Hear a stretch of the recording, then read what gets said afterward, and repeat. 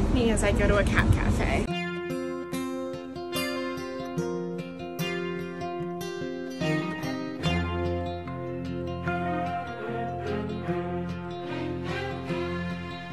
A child arrived just the other day.